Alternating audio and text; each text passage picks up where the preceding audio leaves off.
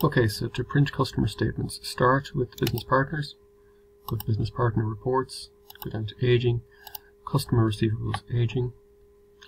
You can then specify one customer or a range of customers. I'm Just going to leave it all for now. Specify the date as at which you want the statement. So uh, I'm going to assume you want this for the end of the, the year. So let's just go 31st of December 2017. So ensure that's the posting date as well. We display customers with zero balance. We ignore future remit.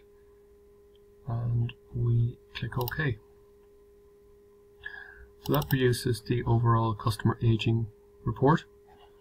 I just collapse that now, if I highlight a specific account, I can then choose to print that. And I can print either a single report with all of the customer statements. So this would work if I'm printing it to a printer. If I'm printing it to PDF, I'm better to go with customer statement report, one page per customer. And um, that way I can choose uh, individual accounts. If I just hold down the control key, I can choose individual customers.